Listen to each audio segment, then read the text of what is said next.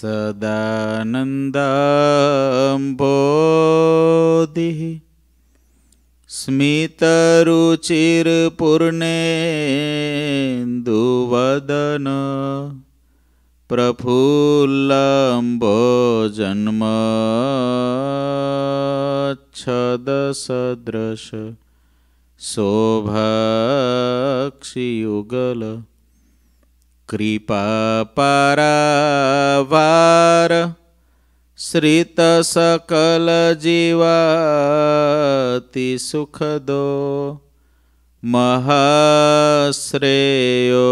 मूर्तिर् जयति सहि नारायनमुनि वर्णिवेशरमणीय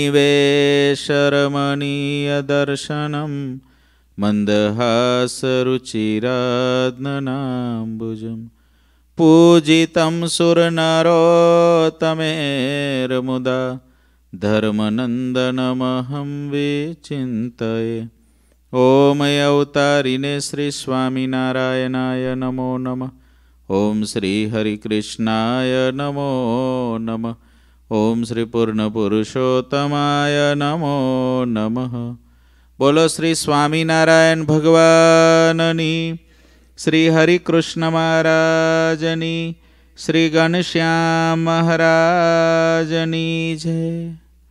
બધાય ભક્તોને હેથી જય સ્વામિનારાયણ. સદગુરુ આધારાનંદ સ્વામી શ્રી હરિચરિત્ર સાગર ગ્રંથની અંદર પૂર અગિયારમું ને તરંગ બાર એમાં છેલ્લે કથા લખે છે, ભગવાન શ્રીહરિએ સંતોને જમાડ્યા છે મોડા ગામમાં. ત્યાર પછી મહારાજે કુપંથની વાતો કરી છે, કુમાર્ગે ચાલવાવાળા જે અધર્મી લોકો છે એની વાતો કરી છે, રાજા અને અધર્મી કુપંથના ગુરુઓની વાત કરી છે. ત્યાં આગળ ઘણા લોકોએ નિયમને ધાર્યા છે, પછી ભગવાને ત્યાં આગળ કર્મ વિષયક વાતો કરી છે. ભારત ભૂમિની અંદર મનુષ્ય જન્મ કેટલો દુર્લભ છે, આ વાત શ્રીજી મહારાજ મોડા ગામના જે અજ્ઞાની લોકો છે, પણ મુમુક્ષુઓ છે, એની આગળ ભગવાન પોતે કરી રહ્યા છે.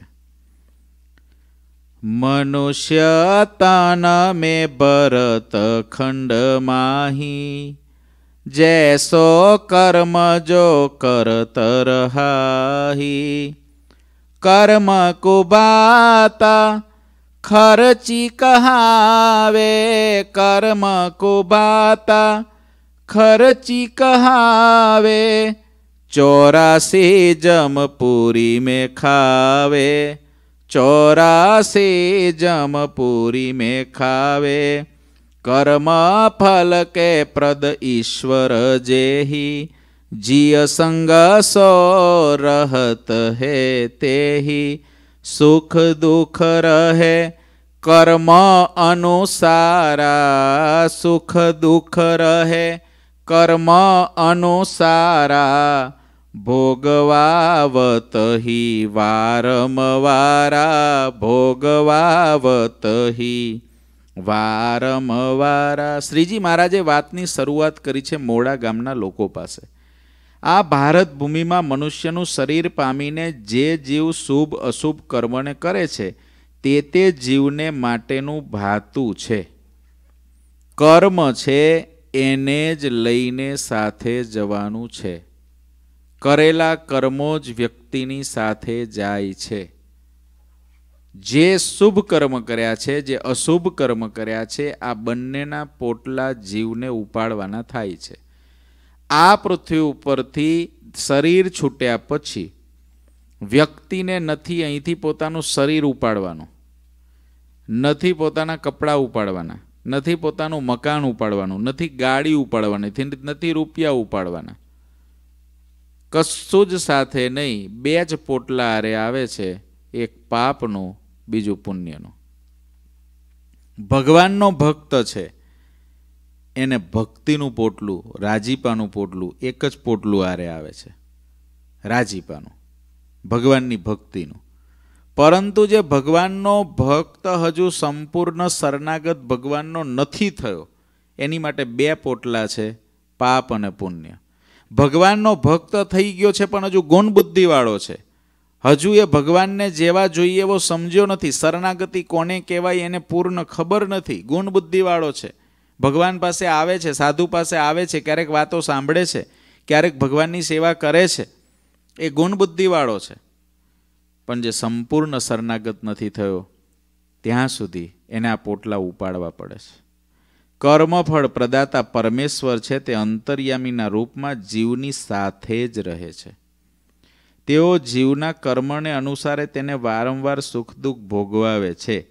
સંચિત ક્રિયમાન અને પ્રારબ્ધ એ રીતે કર્મ ત્રણ પ્રકારના છે. તેમાં ઉત્તમ, મધ્યમ ને કનિષ્ઠ આવા ભેદો બધામાં રહ્યા છે. જીવાત્મા તેવા કર્મોને લીધે વિચિત્ર પ્રકારના અને ભાત ભાતના દેહોને ધારણ કરે છે. ભાત ભાતના દેહોને ધારણ કરે છે. કર્મને લીધે. કર્મનો કર્મોનો વિપાક મહર્ષિઓએ ધર્મશાસ્ત્રોમાં વિસ્તારથી નિરૂપણ કર્યો છે. સત્સંગી જીવનના પાંચમા પ્રકરણના અડતાલીસમાં અધ્યાયમાં પણ આ બધી વાતો લખેલી છે.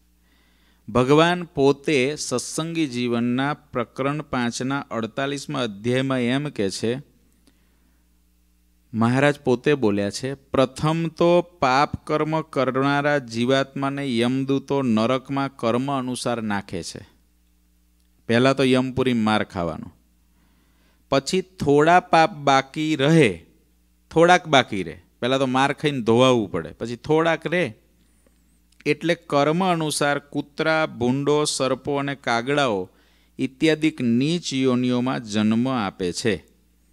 બ્રાહ્મણની હત્યા કરનારા જે હોય, એ કૂતરા, ભૂંડ, ગધેડા, ઊંટ, ગાયો, બકરા, હરણા, પક્ષીઓ ચાંડાળોને ચામડ, ચામાચીડિયાનો જન્મ પામે છે.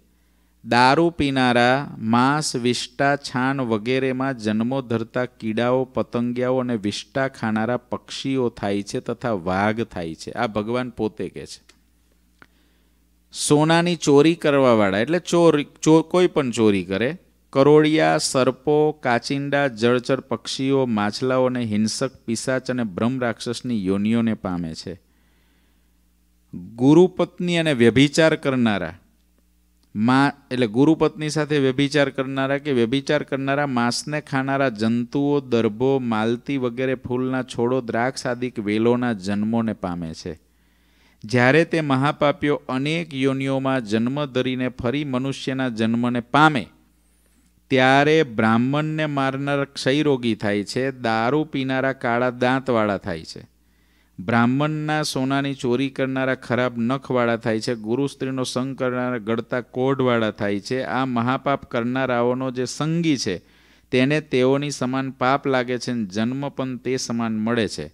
જે ઈર્ષા કરતા હોય તેઓ મચ્છર થાય છે. આ તો શ્રીજી મહારાજ કહે છે, ઈર્ષાવાળા, કારણ કે લોહી જ પીવે ઈર્ષાવાળો બીજાનું. ઈર્ષાવાળો કરે શું? મને કહો, ઈર્ષાવાળો ઈર્ષા જેને જેના પ્રત્યે છે ને, એનું જેટલું ખરાબ થાય એટલું કરવા એ પ્રયત્ન કરે. તે મચ્છર શું કરે? તમે શાંતિથી સૂતા હો બટકા ભરે, ગુનગુન કરે, ઈર્ષાવાળો એ જ કરે, એટલે એ સ્વભાવ એટલે મચ્છર જ બનાવવો પડે એને. ઈર્ષાવાળો ખાલી ખાલી બળી મરે. એને ઈર્ષા હોય, પોતે કાંઈ સારું કરી શકે નહીં, પણ સારું કર્યું હોય, એનું ભૂંડું કરવા ઈચ્છે. કોઈનું સારું દેખાતું હોય, એનું ભૂંડું દેખાડવા ઈચ્છે. કોઈ ઊંચો ચડ્યો હોય, એને નીચો પાડવા ઈચ્છે. કોઈ કાંઈ કમાયો હોય, તો એને પાયમાલ કરવા ઈચ્છે. આનું નામ ઈર્ષા. આ પૃથ્વી પર ઢગલા બંધ ઈર્ષાના છોડવાઓ પડ્યા છે. ઝેરી ઈર્ષાના છોડવાઓ ઢગલા બંધ બે પગવાળા પડ્યા છે. બે પગવાળા ઝેરી ઈર્ષાના છોડવાઓ પડ્યા છે. એ મચ્છર થાય. જે રૂપિયા લઈને વેદને ભણાવતો હોય, એ વાઘ થાય. જોજો ભાઈ, તમે બનવા વાળા જે અયોગ્ય પુરુષને યજ્ઞ કરાવતો હોય, એ શુકર ભૂંડ થાય. જે ગાયોને મારે છે, તે જન્મથી આંધળો થાય. જે સર્વ અન્ન ખાનારો, એટલે કોઈ પણ જગ્યાએ જે આવ્યું એ બધું જ સ્વાહા. એવું જે કરવાવાળો છે, બિલાડો થાય છે. આ શ્રીજી મહારાજના શબ્દો છે, શ્રીમદ સત્સંગી જીવનના. એકલો મિષ્ટાન ખાતો હોય. એકલો. શું ખાતો હોય? એ વાંદરો થાય છે. સાવધાન, મિષ્ટાન વાળા બધા. વેચીને ખાય તો વાંધો નહીં. પણ જો છુપાઈને એકલો ખાય ને ખૂનામાં રાખી મૂકે પોતા માટે અને પોતે એકલો જ ખાય, કોઈને આપે નહીં, બીજા હોય ત્યારે ના ખાય હંતાડી રાખે, પછી ખાય, આવું જો કરે, તો વાંદરો થાય છે. જે મત્સર કરતો હોય, તે ભમરો થાય છે અને જે નિષેધ વસ્તુઓને વેચતો હોય, તે ગીધ થાય છે. આ પ્રમાણે બીજા પાપીઓ પણ કર્મોથી નરકના દુઃખો ભોગવીને અંતે નઠારી યોનીને પામે છે. પછી શિવરામ આ રીતે કર્મનો વિપાક જાણવો. શિવરામ વિપ્રાગળ મહારાજે આ બધી વાત કરી છે. સંસાર સગરો, કાર ચવાનું કર્મ, વસ, નર, નારીજી, દાસ, નારાયણ કહે, ભાઈઓ, કર્મ કરો વિચારીજી. વિચારીને કરો.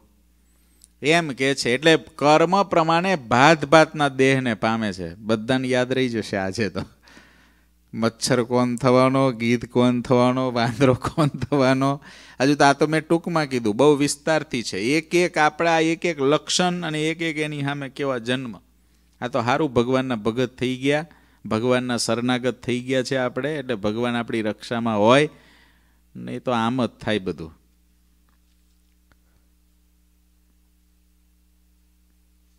તેહી કરી કે વિચિત્ર હે ભાતે, જીયતન ધરત હે જાતિ જાતિ, ઊંચ નીચ મધ્યમ તન જો પાવે કર્મ કે બંધન ગહન કહેવે કર્મનું બંધન ઘણું ગહન છે તેને લીધે તે ઊંચ નીચ અને મધ્યમ એવા શરીરને પામે છે ગહના કર્મો કર્મનો ગતિહી એટલે કે કર્મની ગતિ બહુ ગહન છે આયુષ્ય કર્મ ધન વિદ્યા અને મૃત્યુ, આ પાંચ વસ્તુ. દરેક મનુષ્યને માતાના ઉદરમાં હોય ને, ત્યારથી જ એની નક્કી થઈ જાય છે કે આ વ્યક્તિનું આયુષ્ય કેટલું છે? આ વ્યક્તિ કયા પ્રકારના કર્મને કરશે? આ વ્યક્તિ કેવું, કેટલું ધન કમાશે? આ વ્યક્તિને વિદ્યા કેટલી મળશે? આ વ્યક્તિનું મૃત્યુ ક્યારે, કેવી રીતે અને ક્યાં થશે? આ માતાના ગર્ભની અંદર નક્કી થઈ જાય છે. પરીક્ષિત રાજાનું મૃત્યુ તક્ષક નાગના દંશથી થશે એમ બ્રાહ્મણોએ એના જન્મ સમયે કહી દીધું હતું. ભાગવતના પ્રથમ સ્કંદના બારમા અધ્યાયમાં આ વાત છે. બ્રાહ્મણો એના જન્મ સમયે કહી દીધું તક્ષક નાગથી આનું મૃત્યુ છે. તેમના જ પુત્ર જન્મજય રાજાને વ્યાસજીએ કહી દીધું હતું કે તારા હાથે અઢાર બ્રહ્મત્યાઓ થશે. અર્થાત તું અઢાર બ્રાહ્મણોને મારી નાખીશ. એવી જ રીતે શક પ્રવર્તક શાલિવાહન રાજાને પણ સંતે કહ્યું હતું, તારા હાથે દસ હજારને એક બ્રહ્મત્યા થશે. લંકાધિપતિ રાવણને પણ બ્રહ્માજીએ કહ્યું હતું, તારી પુત્રીના લગ્ન ચાંડાળ સાથે થશે. આવી રીતે અનેક રાજા મહારાજાઓને અગાઉથી ખબર પડી ગઈ હતી, છતાં પણ કોઈ રાજા ભાવિ મિથ્યા કરી શક્યા નથી. તેથી જ શ્રી કૃષ્ણ પ્રભુએ ગીતાજીમાં કહ્યું છે, ગહના કર્મનો ગતિહિ કર્મની ગતિ અતિ ગહન છે. કારણ કે જે વસ્તુ જેવી પ્રારંભમાં લખી છે એ તો થવાની જ છે. એ વસ્તુ એવી થવાની છે. કારણ કે પ્રારબ્ધ કર્મ છે ભગવાનનું બનાવેલું છે. આપણે ભગવાનના શરણાગત જીવ થઈ ગયા છીએ. પણ ભગવાનના શરણાગત જીવ થયા છે, પરંતુ આપણું પ્રારબ્ધ તો નક્કી થઈ ગયું છે. ભક્તો થતાં પહેલાં અને પ્રારબ્ધ કર્મ ભોગવવાનું જ રહે છે. પ્રારબ્ધ કર્મ ભોગવવું પડે છે. હા, ભગવાન એમાં રાહત કરી આપે છે. તમને એમ થાય, જો બધું પ્રારબ્ધ પ્રમાણે કર્મ પ્રમાણે જોઈએ તો ભગવાનની શી જરૂર? ભગવાન કર્મફળ પ્રદાતા છે. આપણે કર્મને માનીએ છીએ ખરા. પણ કર્મનું ફળ આપવાનો અધિકાર ભગવાનને છે, કર્મને નથી. આપણે એવું ચોક્કસ માનીએ છીએ એટલે જ આપણે બીજા મત કરતાં જુદા પડીએ છીએ કારણ કે આપણી પરંપરામાં ભગવાન પ્રધાન છે, કર્મ પ્રધાન નથી. કાળ કર્મને માયાનો કોઈ ભાર નથી ભગવાનના ભક્ત ઉપર. તમે કહેશો કેવી રીતે? એક બાજુ પર છે કે ભાઈ કર્મનું બધું ફળ છે, બધું નક્કી જ થઈ જાય છે. તો એક બાજુ પર બધું નક્કી છે. અને એક બાજુ પર ભગવાન છે, તો શું સાચું? કર્મ કર્મ મોટું છે કર્મ ફળ આપે છે કે ભગવાન આપે છે? તો ફેર એટલો જ છે. એક મત એવો છે પૃથ્વી ઉપર કે જે મતની અંદર કર્મનું પ્રધાનપણું છે. કર્મ જ બધું કરે છે. આ પ્રકારનો મત છે. પરંતુ ભગવાન પ્રધાન હોય એવી વૈષ્ણવી પરંપરા, સ્વામિનારાયણ સંપ્રદાયની પરંપરા, એની અંદર ભગવાનનું પ્રધાનપણું છે કે કર્મ કરે છે, પણ કર્મનું ફળ કોણ આપે છે? ભગવાન આપે છે. ભગવાને અર્જુનને શું કીધું? કર્મ કરવાનો તારો અધિકાર છે, ફળ તો મારે આપવાનું છે. તું ફળનો વિચાર ના કરીશ, તું તારું કર્મ કર. આપણું જે કર્મ છે, આપણને જે ભગવાને નિયમ આપ્યા છે, બંધારણ આપ્યું છે, અને આપણને જેવી રીતે જીવન જીવવાનું આપ્યું છે, આપણી જે ડ્યુટી આપી છે, એ આપણે બજાવીએ. ફળ ભગવાન આપશે. એટલે કર્મનું ફળ ભગવાન આપે છે. હવે એમ થાય કે કર્મ જ જો પ્રધાન હોય તો કેવી રીતે નથી? તો એવી રીતે નથી. શ્રીજી મહારાજે રામાનંદ સ્વામી પાસે માગ્યું, મારા ભગતને રામપત્તર આવવાનું હોય તો એ રામપત્તર મને આવો, પણ મારો ભગત અન્ન વસ્ત્ર કરીને દુઃખી ના થાવ. તો ભગતને રામપત્તર ક્યારે આવવાનું હોય? એનું કર્મ એવું છે. પેલા રાજાએ એક પ્રધાનને કીધું કે મારા ચાર પ્રશ્નોનો ઉત્તર ગોતી લઈ તું. છે છે ને છે. છે છે ને નથી. નથી અને છે. નથી નથી નથી. આ ચાર પ્રશ્નોનો જવાબ મને ગોતીને આપ. પ્રધાન બહુ બુદ્ધિવાળો હતો. રાજ્યમાં નીકળ્યો. એક મોટા શેઠિયા બેઠા હતા. હિંડોળા ખાતે હિચકતા હતા. અને એના દરવાજા ઉપર એનો ચાકર હતો, એ ગરીબોને કંઈક ને કંઈક દાન કરતો હતો. એટલે પ્રધાને ઓલા શેઠને કીધું કે તમારે મારી સાથે આવવાનું છે, રાજાના દરબારમાં આવશો. શેઠ કે, રાજાના દરબારમાં આવવા મળતું એ કેમ ના આવું? હાલો, રથમાં બેસાડ્યા થોડા આગળ ગયા ત્યાં એક બીજો શેઠિયો હતો, એ હિંડોળા ખાતે હિચકતો હતો. પણ એને ત્યાં દરવાજા પર કોઈ માગવા આવે ને, તો એને એ શેઠિયાનો નોકર કહેતા આગળ જાઓ આગળ જાઓ આગળ જાઓ. અહીં કાંઈ નથી કે, બીજા ઘેર જાઓ. એ શેઠિયાને કીધું, ભાઈ, રાજાના દરબારમાં રાજા બોલાવે છે, આવશો? શેઠ કે, રાજા પાસે તો જવામાં હું વાંધો ચાલો એ રથમાં બેઠા. આગળ ગયા, એક સાધુ મહાત્મા ઝૂંપડીમાં બેઠા હતા, ધ્યાન કરતા હતા, ભજન કરતા હતા. જોયા, સાધુ મહાત્માને પ્રધાન કે, આવશો રાજાના દરબારમાં, મારે થોડું કામ છે. હાલો કે. એને રથમાં બેસાડે. આગળ ગયા. એક ગરીબ હતો, દારૂ પીતો હતો, માંસ ખાતો હતો એને લીધો કે ભાઈ તું આવી સારે. હાલો, રથમાં બેહીન રાજાને ત્યાં કોણ ના આવે? આવે રાજાને કે, રાજા, તમારા ચાર પ્રશ્નોના જવાબ આવી ગયા કે. રાજા કે, શું? આમાં કોણ ચાર પ્રશ્નો શું જવાબ? તો કે આ પહેલો છે, આ શેઠ છે. પૂર્વ જન્મના એના પુણ્ય બહુ છે, એટલે એને ત્યાં સંપત્તિ છે, સુખ છે. અત્યારે સુખ છે. આગલા જન્મમાં એની પાસે હતું. અત્યારે પણ એ જે છે એમાંથી ગરીબોને આપે છે, એટલે એનું પુણ્ય થાય છે, એટલે એને છે છે અને આગલા જન્મની અંદર પણ એ સુખી થશે, છે. છે છે ને છે. હવે આ બીજો છે, આ શેઠ, એને પાછલા જન્મનું ઘણું પુણ્ય છે, એટલે ત્યારે હતું, અત્યારે છે, પણ આગળ આવે એ કોઈ માટે કાંઈ કરતો નથી, એટલે નથી. આ જે સાધુ છે, એ છે ગરીબ એની પાસે આગલા જન્મમાં નથી. આગલા જન્મનું કાંઈ નથી. આ એને ગરીબ છે, કોઈને રંજાડતા નથી, કાંઈ નહીં, શાંતિથી બેઠા છે, મળે એમાંથી એનો નિભાવ કરે છે, એટલે નથી અને છે. આની પાસે અત્યારે એટલું સુખ છે. અને ચોથું, નથી નથી નથી, આને આગલા જન્મમાં કંઈ સારું કર્યું નથી, એટલે આ જન્મમાં એને કાંઈ મળ્યું નથી. અને અત્યારે જે પૈસા થોડા ઘણા મળે છે ભિક્ષામાં, એમાંથી દારૂ પીવે છે, માંસ ખાય છે વ્યભિચાર કરે છે એટલે આને આગલા જન્મમાં પણ આની પાસે નહીં હોય. આ તમારા ચાર પ્રશ્નોના જવાબ છે. રાજા ખુશ થઈ ગયો કે પ્રધાન બુદ્ધિવાળો છે. એટલે કે છે કે કર્મને લઈને આ બધું થાય છે, પણ ભગવાન છે ને, એ કર્મફળ પ્રદાતા છે. કર્મફળ પ્રદાતા.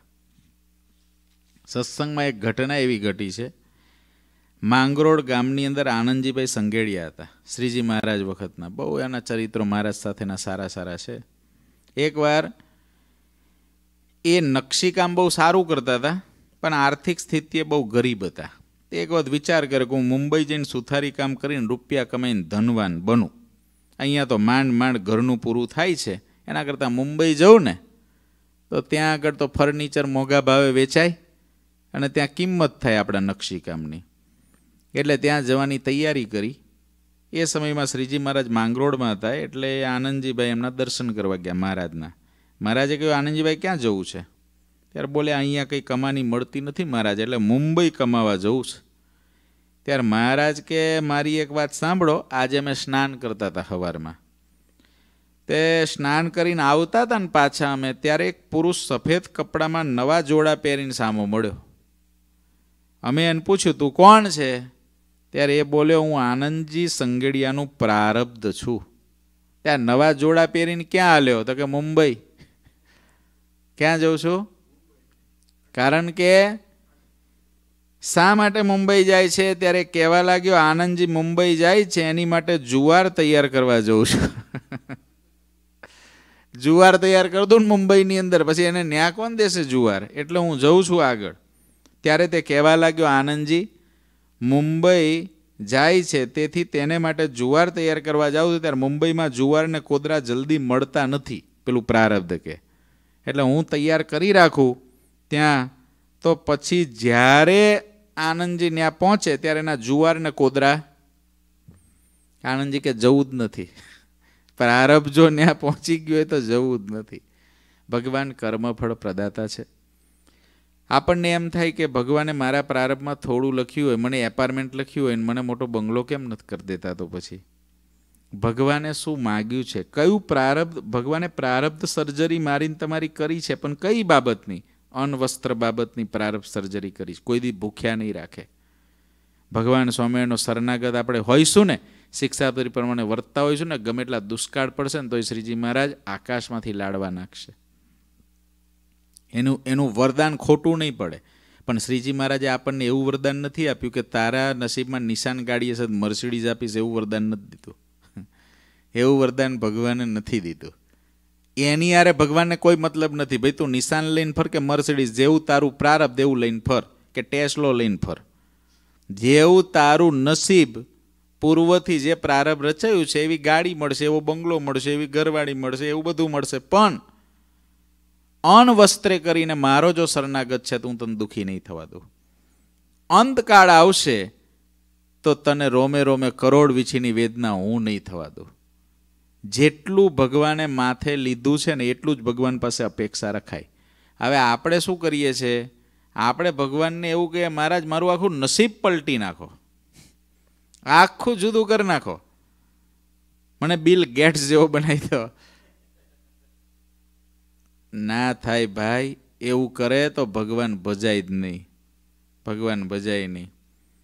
મને એનું નામ યાદ નથી આવતું. એક ભગત તે પેલો ગોપાળાન સ્વામીને કીધું એને કે, મને જો આટલા રાજ્યનો આખો અમલદાર બનાવી દો ને, રાજા બનાવી દો ને, તો આખા રાજ્યમાં સ્વામિનારાયણની ઉપાસના પ્રવર્તાવું અને બધાને સ્વામિનારાયણનું જ ભજન કરાવવાનું. ગોપાળાન સ્વામી કે, અત્યારે તું ગરીબ છે એટલે ભગવાન ભજે છે. મોટો અમલદારને રાજા જો બને ને તો એના કારભારામથી ઊંચો આવે તો તું ભજે તો બીજાને ભજાવે ને. તું જ ભજવો જોઈએ ને. તું જ કારભારામ એવો પડે અને તું જ એટલી બધી માયાજાળમાં પડી જાય. તું ભજે તો બીજાને ભજાવે, નહીં તો ક્યાંથી ભજાવે? એટલે ભગવાને આપણને આપણી લાયકાત કરતાં વધારે આપ્યું છે બસ. આટલું જ હંમેશા યાદ રાખવું.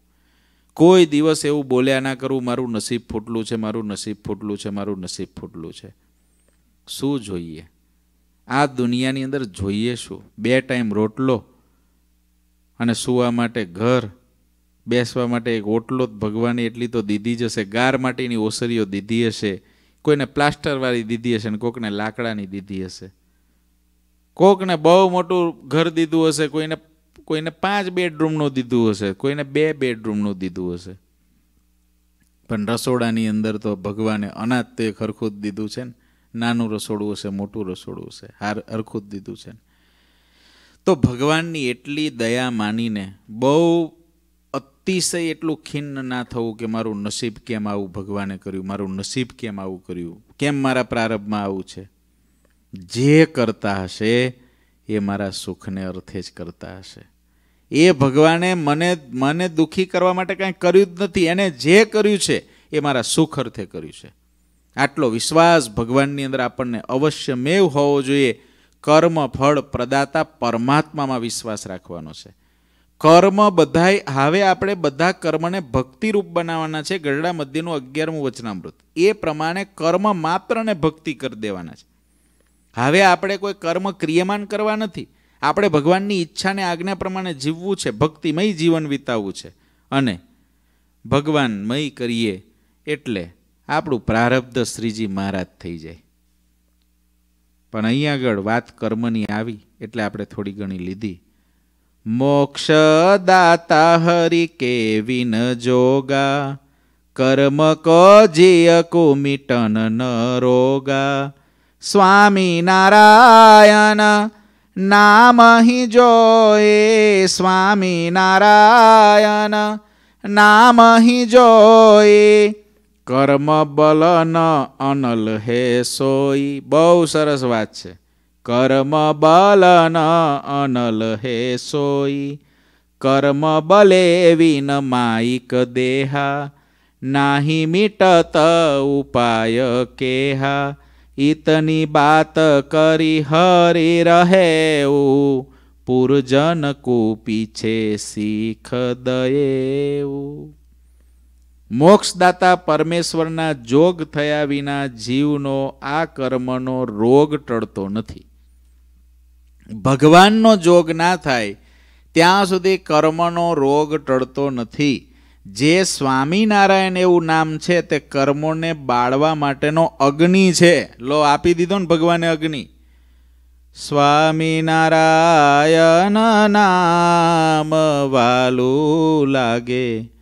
સ્વામિનારાયણ નામ સ્વામિનારાયણ નામ કર્મોને બાળવા માટેનો અગ્નિ છે. કંઈ પણ દુષ્કૃત થઈ ગયા છે આપણાથી. કોઈ પણ દુષ્કૃત થઈ ગયા છે. સ્વામિનારાયણ મહામંત્ર એટલો બળ્યો છે, તમામ કર્મોને બાળી નાખે. કઈ પાપ માત્રને નહીં, પાપ માત્રની વૃત્તિઓને બાળી નાખે. ભગવાનના મંત્રની એટલી તાકાત છે. માટે હાલતા, ચાલતા, ખાતા, પીતા, નાતા, ધોતા, બીજી કાંઈ ખબર ઊંડી પડે કે ના પડે, પણ સ્વામિનારાયણ સ્વામિનારાયણ સ્વામિનારાયણ સ્વામિનારાયણ સ્વામિનારાયણ કરે જ કરીએ, કર્યા જ કરીએ, કર્યા જ કરીએ. બીજી કશી ખબર ના પડે ને?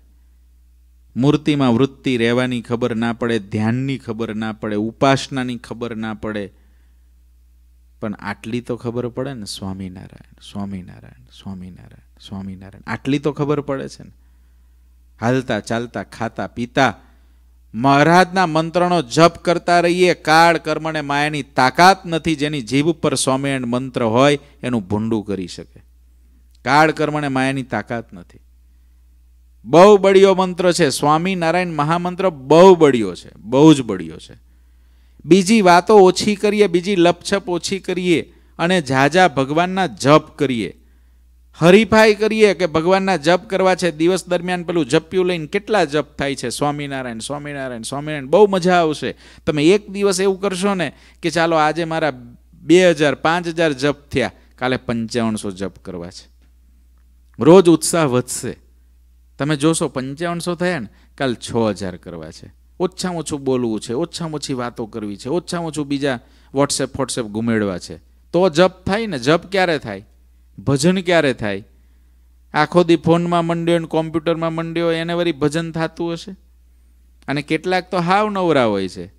એને કશું કોઈ જાણવાનું, જોવાનું કાંઈ જોબે ના હોય, ના એને કામ કરવાનું હોય, પણ આખો દિવસ ઉંમરવાળા થયા હોય, હા? ઉંમરવાળા. ઘુમડ્યા જ કરે. આખો દિવસ. હવે એ ભજન ક્યારે થાય? ભગવાનનું ભજન એટલું સહેલું છે. એટલું સહેલું છે. નામ મંત્ર જાપ એટલો સહેલો છે અને એટલો બધી એટલી અક્ષીર દવા છે કે જીવાત્માની સ્થિતિ બદલી નાખે. નામ મંત્ર જપ એટલી અક્ષીર દવા છે કે જીવાત્માની વૃત્તિઓ બદલી નાખે. એટલી તાકાત છે એની અંદર. કોઈ વ્યક્તિ તમે એક વખત પ્રયોગ કરો. અઠવાડિયું તો મળે ને કમસે કમ. એક વીક તો મળે ને કે તમે કોઈ સાથે વાતો બહુ ના કરો. અને તમે કાંઈ બીજો વ્યવહાર ના કરો, તો એક વીકમાં તો કાંઈ બગડી નહીં જતું હોય ને. એક વીકમાં સંસારનું કશું બગડી જાય એવું નહીં હોય ને. એક વીક માટે તમારા ફોનને દિવસમાં ખાલી અડધો કે પોણો કલાક માટે લો. તમારે જે વ્યવહારના કામ હોય પતાવી દો. અને એક વીક માટે ખાલી, એક જ વીક. આ સોમવારથી આવતો સોમવાર, ત્યાં સુધી બસ ભગવાનની મૂર્તિ રાખીને જપ કરે રાખો, જપ કરે રાખો, જપ કરે રાખો, કથા સાંભળતા રહો, હરિસ્મૃતિ સાંભળતા રહો, કીર્તન સાંભળતા રહો, એક વીક અનુભવ કરો અને એક વીક પછી તમને બીજું કંઈ ભાવે તો કહેજો. ભાવશે જ નહીં, બીજું ગમશે જ નહીં. બહુ તાકાતવાળો મંત્ર છે, બહુ તાકાતવાળો. સ્વામિનારાયણ મંત્ર એટલે શું? ભગવાનનું ભજન એટલે શું? એકવાર લગ્ની લાગી જાય ને, ઉખડે નહીં. કાશીના એક રાજાને ત્યાં એક સૈનિક હતો. સૈનિકને એવી ઈચ્છા થઈ. ધીરે ધીરે ધીરે રાજાનો બહુ માનીતો થઈ ગયો. માનીતો થયો એટલે પછી તો અંગરક્ષક તરીકે રહેવા લાગ્યો, એટલે ઠેક રાણીવાસ સુધી જાય. એમાં રાજાની કુંવરી, રાજાની જે દીકરી હતી, એ આને ગમી ગઈ. અને આ સૈનિકને થયું કે મારે લગ્ન આની યારે કરવા છે. ઘેર ગયો, એની ઘરવાળીએ જમવાનું બનાવેલું, પણ આ કાંઈ મૂળ વિનાનો બેઠો. એટલે એની ઘરવાળી કે કેમ તમને ભાવતું નથી, તો બીજું બનાવી દઉં. આ કે ભાવવાનો કોઈ પ્રશ્ન નથી, પણ મારે એક બહુ દુઃખ છે મોટું. ઓલી પત્ની છે એની આ. એટલે ઓલી પત્ની કે કોને મારથી જે સહાય થશે એ કરીશ તમને. તો કે સહાય તો મારે એટલી છે કે મારે છે ને રાજાની દીકરી યારે લગ્ન કરવા છે. ઘરવાળીને કીધું. તે ઘરવાળી પતિવ્રતા હશે ડાઈ. બાકી અત્યારની હોય તો હા, એવું જ કે દાદા. આપણે અહીંથી કહેવાય નહીં ને દાદા એવું. આપણે ઘર ઘરમાં સાંભળી લીધું. પણ ઓલી બાઈ બહુ ડાઈ હશે, એ કે વાંધો નહીં, હું તમારા લગ્ન કુંવરિયારે કરાવી દઈશ. જાઓ. અને પછી એ તો રાણીની દાસી તો હતી જ. એટલે એને રાણીબાને રાણીબાને બહુ સેવા કરીને રાજી કર્યા. રાણીબા એક દિવસ રાજી થઈ ગયા અને કે, તું માગ, તારે જે જોઈએ આપું. ત્યારે ઓલી દાસી કે બીજું કાંઈ નહીં. તમારી દીકરીને મારા ઘરવાળા હારે પરનાવો કાશીના રાજાની રાણીને ઓલી દાસી કે તમારી દીકરીને મારા ઘરવાળા હારે પરનાવો ત્યારે ઓલી રાણી બહુ ભક્ત હૃદયની હતી, એ કે વાંધો નહીં. તારી દીક, મારી દીકરીને તારા ઘરવાળા હારે પરનાવો મને વાંધો નથી, પણ તારા ઘરવાળાને મારી પાસે મોકલ. એને મારે છે ને છ મહિનાનું લેસન આપવું છે. એ પૂરું કરે તો હું પરણાવી દઉં. એટલે આને ઘેર જઈને વાત કરી કે મારે રાની બારે વાત થઈ ગઈ છે ને તમારા લગ્ન નક્કી થઈ જશે, પણ છ મહિનાનું એક્ઝામ આપવાની છે. ઓલો કે છ મહિના હું બાર મહિનાની આપું જો લગ્ન થતા હોય તો. રાણીબાન બે પતિ પત્ની જઈને મળ્યા. રાણીબા કે જો, છ મહિના હવે તારે તારી ઘરવાળી યારે રહેવાનું નથી. કારણ કે હવે તો તારે મારી દીકરી યારે લગ્ન કરવાના છે. એટલે પછી આને તો છૂટાછેડા જ આપવા પડે તારે. છ મહિના એક ઓરડો બનાવેલો છે, એમાં એક ભગવાનની મૂર્તિ મૂકેલી છે. છ મહિના ઓરડાન બહાર નીકળવા નથી, અખંડ જપ કરવા પડશે. તારા મોઢામાંથી અખંડ જપ ચાલુ હોવા જોઈએ, હું બારીમથી જોઉં ત્યારે. અને મૂર્તિની સામું જ બેઠેલો જોઈએ, તને ડીશ મળી જશે, જમવાનું મળી જશે, અંદર જ નાવા ધોવાની બધી વ્યવસ્થા છે. છ મહિના પૂરી દીધો, રાજાને કહી દીધું કે હમણાં મારે એક પ્રોજેક્ટ ચાલે છે. રાણીબા કે એટલે રાજાને માનવું પડે ને, કે મારે આ અંગરક્ષક પર એક પ્રોજેક્ટ ચાલે છે. એટલે હમણાં તમે મને ડિસ્ટર્બ ના કરતા ને એને ના કરતા. છ મહિના ઓલો તો જપ ને ભજન કરવા જે મંડી પડ્યો ને. બે પાંચ દિવસ થયા ત્યાં તો સંકલ્પ કે હમણાં તો છ મહિના હમણાં પૂરા થઈ જશે અને કુંવરી યારે લગ્ન થઈ જશે. એ મૂળમાં ભાઈ ભગવાનની મૂર્તિ આમ જોઈને જપ કરવા લાગ્યા તો એને જપ કરતા કરતા એવું થઈ ગયું કે રાણીબાએ કીધેલું, હું અડધી રાત્રે જોવા આવું, જપ ચાલુ જોઈએ તારા. જપ બંધ ના થવા જોઈએ. જો જપ બંધ થયા તો હું નહીં આપું દીકરી. એટલે આને તો રાણીબા જોયા કરે, એટલે આને તો ચાલુ જ રાખવું પડે. અને બેહાડ્યો તેવો રાણીબા જોવે તો એને ખબર ના પડે કે રાણીબા જોવે છે. પણ રાણીબાને ખબર પડી જાય કે જપ કરે છે કે નહીં. મૂર્તિ આમાં બેઠો બેઠો જપ કર્યા કરે. એને ત્રણ ચાર મહિનામાં એવી ટેવ પડી ગઈ કે વગર યાદ કરે ભગવાનનું નામ બોલાય. ભગવાનની મૂર્તિમાં જોડાઈ ગયો. છ મહિના થયા. ત્યાં રાણીબાએ ઓલી દાસીને કીધું, મારું વચન આવે, હું પૂરું કરીશ. ચાલ મારી દીકરી અને તું ને આપણે ત્રણે જઈએ. અને મારી દીકરી મારે એને હાથમાં હોપી દેવી. આ લઈને ગયા, દરવાજો ખોલ્યો. ઓલાને કીધું, ભાઈ આ તમારે કુંવરી યારે લગ્ન કરવાતા. ત્યારે ઓલો કે, હવે કુંવરી યારે હું આ પરનેલીને છોડવી છે, મારે તો ભગવાનમાં મસ્ત થઈ ગયો છું. એના જેવું રૂપ ને એના જેવી મજા ને એમાં જે સુખ, ગંગાના કિનારે ઝૂંપડી બાંધીને સાધુ થઈ ગયો. બોલો. જપની આટલી તાકાત છે. આપણે અનુભવી નથી. હું તમને જે કહું છું, એને તમે અનુભવો. એક વીક અનુભવો. એક વીકના અનુભવો, ત્રણ દી અનુભવો. હાલો. ત્રણ દીમાં તો વ્યવહાર નહીં બગડે ને? ત્રણ દિવસ અનુભવ. અરે, ત્રણ દીના અનુભવ, ચોવીસ કલાક અનુભવ. હાલો. એક દિવસ માટે. બધું જ પડતું મૂકી દો ને જપ જ કર્યા કરો. બસ જપ. ભગવાનની મૂર્તિ લઈ હરિસ્મૃતિ અંદર નાખો, કથા નાખો, કાનમાં કીર્તન નાખો અને જપ ચાલુ રાખો. ચોવીસ કલાક. જીવાત્માને કંઈક જુદી અનુભૂતિ થાય થાય ને થાય, કારણ કે ભગવાન તો પ્રત્યક્ષ છે. ભગવાનનો મંત્ર બળ્યો છે. એમાંય સ્વામિનારાયણ મંત્ર. આજ દિવસ સુધી આ પૃથ્વી પર આવો મંત્ર કોઈને મળ્યો નથી. ભગવાને સ્વયં આપ્યો હોય, ભગવાને સ્વયં આપ્યો હોય, એવા છે. બીજા મંત્રો છે, એ ઋષિઓએ પોતાની આર્થ દ્રષ્ટિથી જોયેલા છે. સ્વામિનારાયણ મહામંત્ર છે, ભગવાને સ્વયં પરબ્રહ્મે આપેલો છે. માટે એ મંત્ર બહુ બળ્યો છે. આપણે ભાગ્યશાળી છે, ગુણાદિતાનંદ સ્વામી કે આ મંત્રના જપથી કાળા નાગનું ઝેર ઉતરી જાય.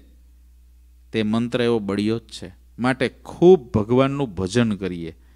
પછી ધ્યાન થશે. જપ કરીશું ને, બહુ જપ કરીશું ને, ત્યાર પછી જપ થોડા ધક્કા લગાડશે ને કારણ શરીરને, ત્યાર પછી ભગવાનની મૂર્તિમાં ચોંટશું. અને બહુ મજા આવશે. એકવાર આ લગ્ની લાગશે ને, પછી બીજું કાંઈ ગમશે જ નહીં તમને. બીજું તમને જેટલું વ્યવહારનું કામ હશે, એટલી વાર વ્યવહાર કરશો, બાકી પડતું મૂકીને ભજનમાં લાગી જશો. આવું થશે. પણ આપણે કરવું તો પડશે એક દિવસ. શ્રીહરિ, આટલી વાત કહીને ગામના લોકોને ઘેર જવા રજા આપી. મહારાજ કે, આવે, ઘેર જાઓ. પછી તો જ્યાં પલંગ હતો, ત્યાં જ ઘનશ્યામ પ્રભુ પોઢી સંતો, વર્ણીઓ અને જે પાર્ષદો હતા, એ બધા પણ ત્યાં જ સૂઈ ગયા. જ્યારે અરુણોદય થયો ત્યારે બધા સંતો ઉઠ્યા, પરમ સ્નેહભાવથી નારાયણ ધૂન કરવા લાગ્યા, શ્રીહરિએ ધૂન સાંભળીને ઊંઘમાંથી ઉઠ્યા. સવારના ઠંડા પોરમાં લાગ જોઈને તત્કાળ મોડા ગામથી ચાલવા તૈયાર થયા. ઠંડો પોર હોય ત્યારે ચાલવાની મજા આવે ને, એટલે ભગવાન લાગ જોઈને નીકળી ગયા ત્યાંથી. હરિભક્તોએ શ્રીહરિને રોકવા પ્રેમભરી બહુ વિનંતી કરી. પણ શ્રી હરિ તો અશ્વ ઉપર સવાર થઈ ગયા, એકદમ ઉતાવળા ચાલતા થયા. બધા હરિભક્તો શ્રી હરિની સાથે ગામ બહાર આવી ગયા. કેમ જે શ્રીહરિએ વાતો કરીને એમને આવો સત્સંગનો રંગ ચડાવી દીધો હતો? સત્સંગનો રંગ વાતે કરીને ચડે. વાતો જેટલી કરવાવાળો, જેટલી વાતો કરવાવાળો બળ્યો હોય, એટલો સત્સંગનો રંગ જીવને વધારે ચડે. વાત વિના કોઈ દી સત્સંગનો રંગ ના ચડે. અત્યારે આપણે આઠથી નવ, મૌન વ્રત રાખીને આમ બેસી જઈએ બધાય, આંખ બંધ કરીને. તો કાંઈ સત્સંગનો રંગ ના ચડે. સત્સંગનો રંગ વાતે કરીને ચડે.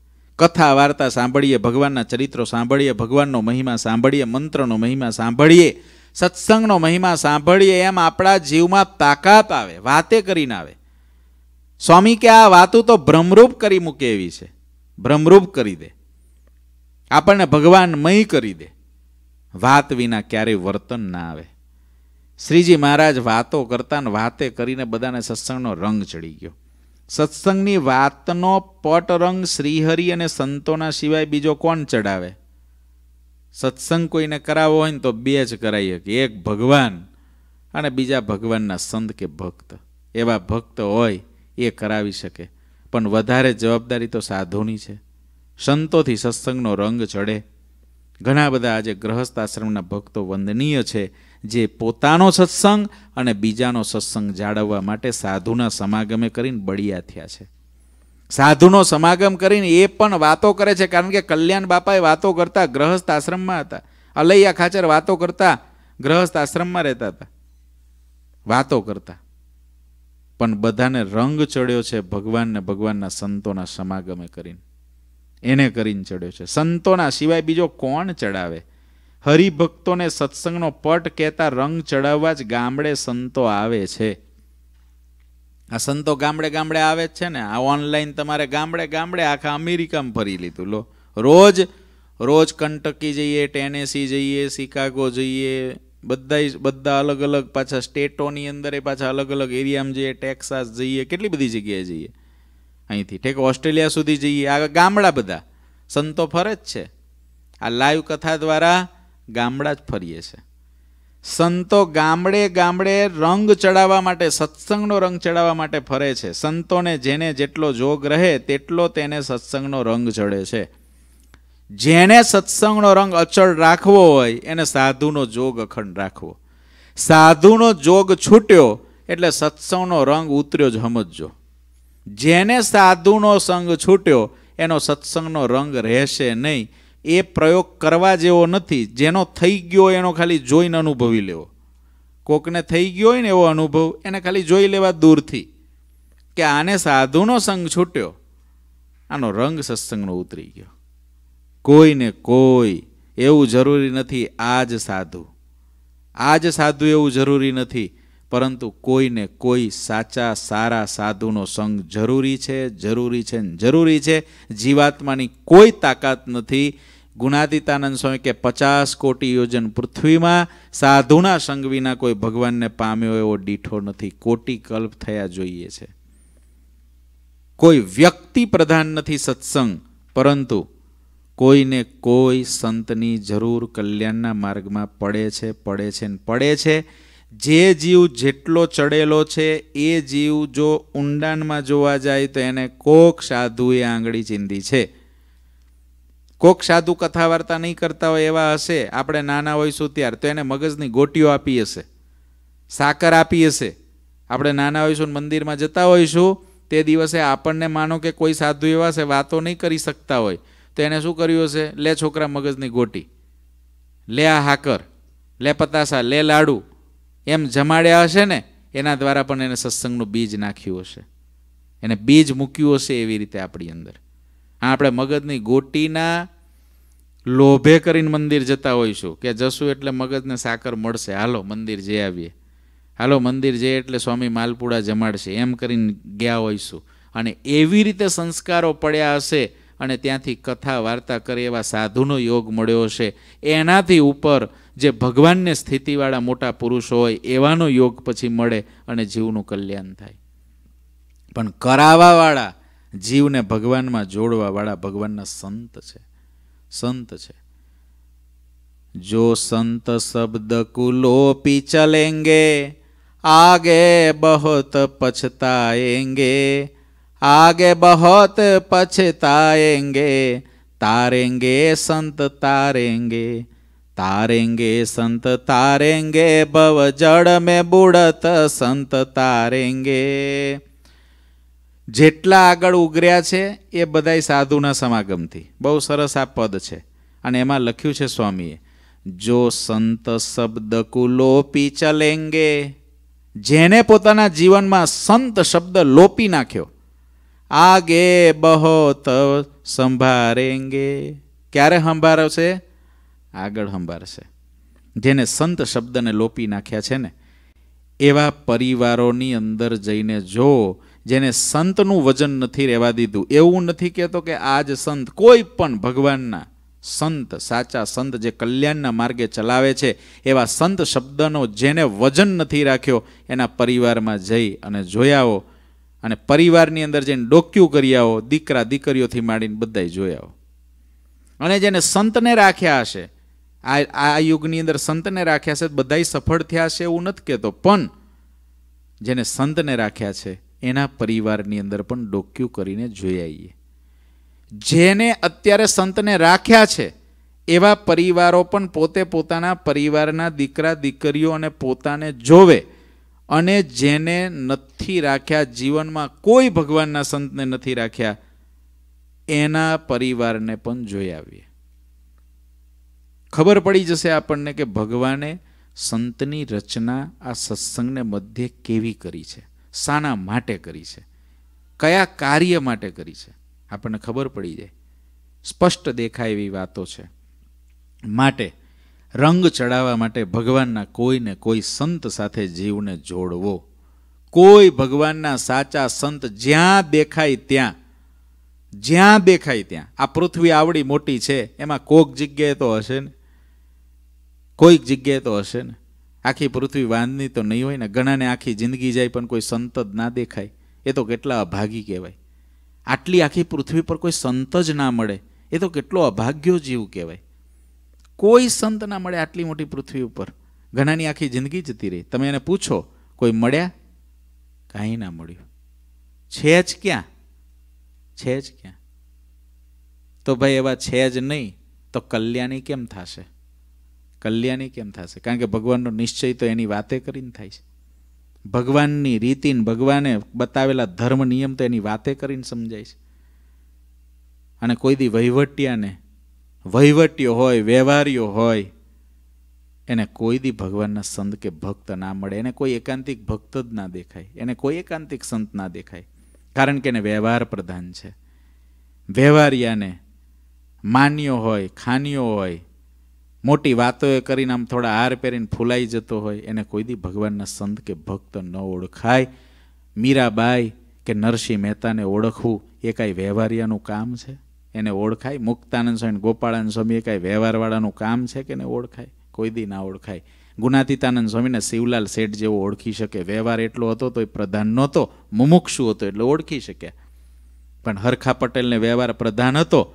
મંદિર તો આખું એને જ બનાવ્યું હતું. મંદિરનો ખર્ચો એને જ આપ્યો હતો મોદીયું એને જ નાખ્યું હતું પણ વ્યવહાર પ્રધાન હતો તો ગુણાતીતાનંદ સ્વામી હરખા પટેલને નથી ઓળખાયા અને શિવલાલ શેઠ નવલખો શેઠ હતો. પણ એની પાસે વ્યવહાર પ્રધાન નહોતો, વહીવટ પ્રધાન નહોતો. એના કારણે એને ગુણાતીતાનંદ સ્વામી ઓળખાયા. બહુ અઘરી બાબત છે. ગ્રહસ્થ માટે પણ અઘરી છે, ત્યાગી માટે પણ અઘરી છે. ત્યાગી માટે પણ અઘરી છે. ગુણાતીતાનંદ સ્વામીના બધાય સ્વામીને કેમ ના ઓળખી શક્યા? સ્વામીની મોર છાપ ઠેક મહંતઈની બીજો લઈને આવતો રહ્યો અને સ્વામી જુનાગઢ છોડીને જતા રહ્યા છે. કેમ જતા રહ્યા? એના ઇતિહાસો તો વાંચો. વ્યવહાર પ્રદાન થઈ ગયા હતા. અને બાલમુકુદાસ સ્વામીને યોગેશ્વરદાસજી સ્વામી જેવાને કલ્યાણ પ્રધાન હતું. તો ગુનાદિતાનંદ સ્વામી પ્રધાન રહ્યા. મહંતય પ્રધાન ના રહી. માટે વ્યવહાર પ્રધાન જીવાત્માને વ્યવહારમાંથી આ જીવને કાઢવો. વ્યવહાર પ્રધાન કોઈ દી જીવમાં ના થવા દેવી. આધ્યાત્મિકતાનું પ્રધાનપણું રાખવું, આત્યંતિક કલ્યાણનું પ્રધાનપણું રાખવું, આપણી સાધુતાને આપણા ભક્તપણાનું પ્રધાનપણું રાખવું, બાકી વ્યવહારને તો હાવ સુરતના પાયખાના જેવો રાખો, જીવનમાં. જેને સુરતના પાયખાના જેવા વ્યવહારને સમજ્યા છે, ગુણાતીતાનંદ સ્વામીના વચન પ્રમાણે, એવાને ક્યારેય કલ્યાણના માર્ગમાં વિઘન નથી આવ્યા માટે સંતોને જેને જેટલો જોગ રહે, તેટલો તેને સત્સંગનો રંગ ચડે. નિર્લોભ, નિષ્કામ, નિર્માણ નિસ્વાદ ને નિષ્ને ઇત્યાદિક સંતોના મહાન ગુણો કહ્યા છે. તે મોક્ષ માટેના અમૂલ્ય આભૂષણો છે. એ ગુણો તો ભવ બ્રહ્મા આદિકને પણ દુર્લભ છે. તેમને પણ તે ગુણો કોઈને મળતા નથી. તે આભૂષણ જેના અંગ ઉપર દેખાય, તેને તેનો રંગ લાગી જાય છે. આ પાંચ વર્તમાનવાળા સાધુ દેખાય, એવા સાધુથી બીજાને સત્સંગનો રંગ લાગે. મોક્ષની જેટલી વાત કહેવાય છે, તે અભ્યાસ કર્યા વિના ટકતી નથી. જેને જેટલો ખપ હોય, તેને તેટલો અભ્યાસ કરે છે. એવી વાત અહીં મહારાજ બહુ સરસ હજુ કરે છે. એને આપણે આવતીકાલે સાંભળશું. ઘનશ્યામ.